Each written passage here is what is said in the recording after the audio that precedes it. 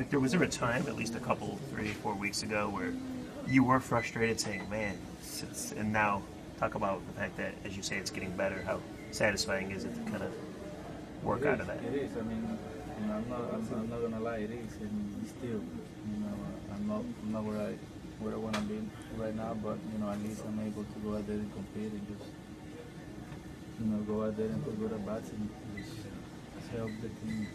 You know, I. Was there a point where you consider hitting right-handed? No, Oh, never. Just is it, Victor? Is it as simple as just trusting it to stay back on it and not not come up on your front foot when you're batting left Well, I mean, it's hard.